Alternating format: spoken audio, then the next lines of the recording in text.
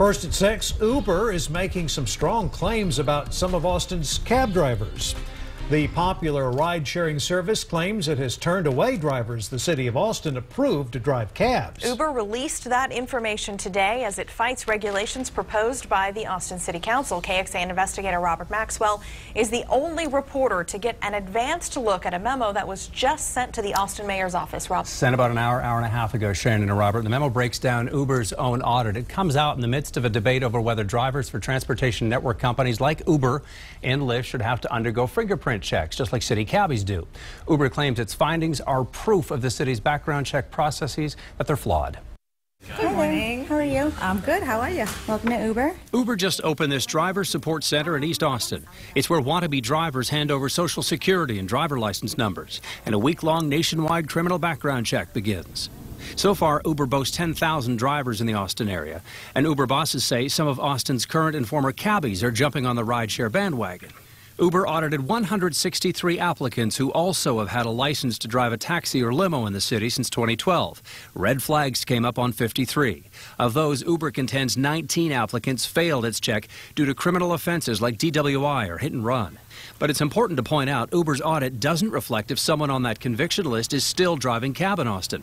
It's also unclear whether they were convicted of a crime after receiving their taxi driver license from the city.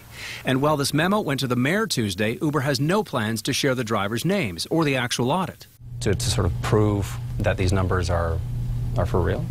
For privacy reasons, we can't disclose that information. Again, there is a process for third-party data requests. Councilmember Ann Kitchen chairs the city's mobility committee, and she says a cabbie's conduct post conviction can factor into their obtaining a city license. In other words, someone with a DWI in their record could still get a taxi driver license if they show good behavior. We reached her Tuesday via FaceTime.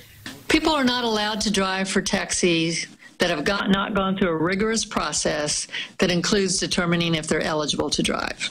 And more on this, even though the city of Austin requires fingerprint checks for its taxi drivers and other ground transportation providers. Those checks only look for a criminal and driving record here in Texas, not nationwide.